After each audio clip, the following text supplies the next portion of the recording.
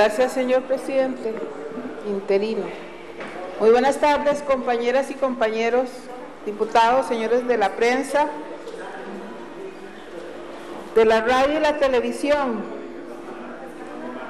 Hay un tema muy recurrente sobre el cual me he referido varias veces, pero que no puedo dejar pasar y que se ha tocado en, esta, en este plenario y que tenemos que analizar y pedir cuentas. Pareciera que nos estamos acostumbrando a abrir los periódicos y ver que va subiendo la cantidad de muertos por fines de semana. El nivel de inseguridad que vivimos en este momento es inconcebible. Pero inconcebible es el hecho de que habiendo trabajado, habiendo construido una política para atacar la inseguridad de este país y estemos como estemos. Este gobierno se dio el lujo de desechar una política construida mediante un proceso consultivo a escala nacional,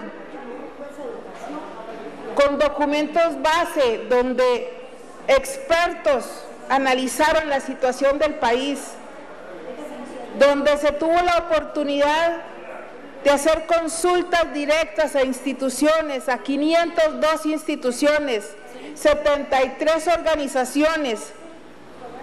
Se tuvo sesiones temáticas para sectores y grupos, se trabajó con 260 personas en, en grupos, en talleres en consulta comunitaria, en todos los cantones del país, o los más grandes, donde se consultó a la ciudadanía a través de las páginas del PNUD que nos ayudó a construir esa política, la página web, el correo electrónico, el Facebook, los números de teléfonos gratuitos.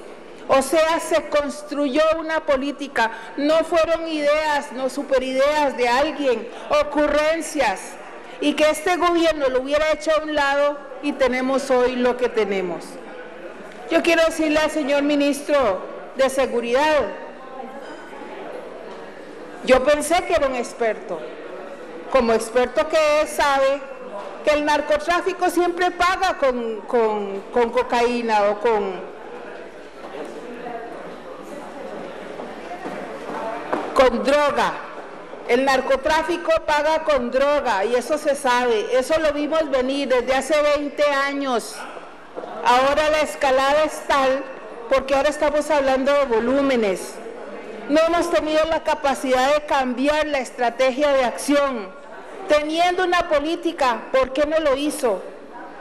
Qué decepción el ver este análisis que hace hoy, donde yo pensé que iba a ser un recuento de todo lo que pudo hacer, con todas las lloradas que se pegó de que quería el presupuesto, de todo lo que necesitaba y que se lo dimos.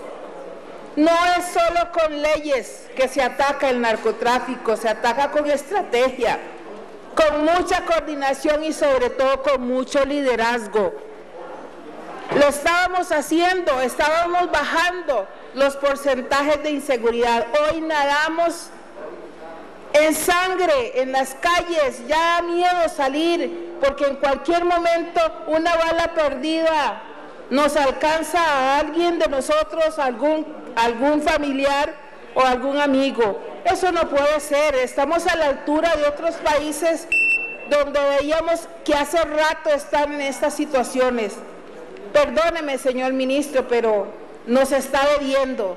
A cuatro meses de irse, yo no le acepto que diga que declaremos emergencia nacional. Por Dios, usted tuvo tres años y resto para ejecutar una política y no lo hizo. Lo que tenemos hoy es el resultado de haber dejado todo lo que dejamos el Partido de Liberación Nacional en el gobierno pasado construido, hoy se hubiera reforzado más, se hubiera fortalecido más con los recursos que le dimos, con las leyes que, que tuvimos que aprobar precisamente para apoyarlo. No le acepto este informe.